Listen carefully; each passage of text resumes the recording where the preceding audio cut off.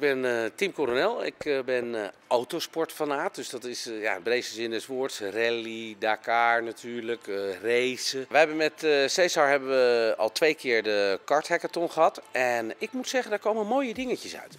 ik ben zelf een beetje pionier en ik hou van, van dingen die in de toekomst toepasbaar zouden kunnen zijn. En met de hackathon hebben we dat nu twee keer gedaan. Dus we hebben mensen uitgenodigd, zowel een mannenteam als een damesteam. Ja, en uiteindelijk zijn daar uh, hele mooie dingen uitgekomen. Wij zijn natuurlijk wel al de eerste kartbaan in de wereld die kart positioning system heeft.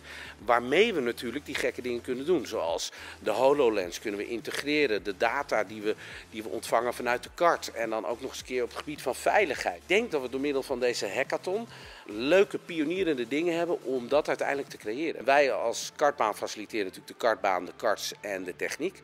Alleen de gekke ideeën ja, moeten uit eh, de trilogie van de Haard, Caesar en, eh, en ons komen. En eh, ja, ik zie daar hele mooie perspectieven. We zijn uiteindelijk ook genomineerd voor de Computer Wearable Award. En ja, daar zijn we wel trots op. Het was nooit het uitgangspunt. Het uitgangspunt is dat we met gepassioneerde, gekke, innovatieve pioniers, dat we daar iets moois mee willen creëren.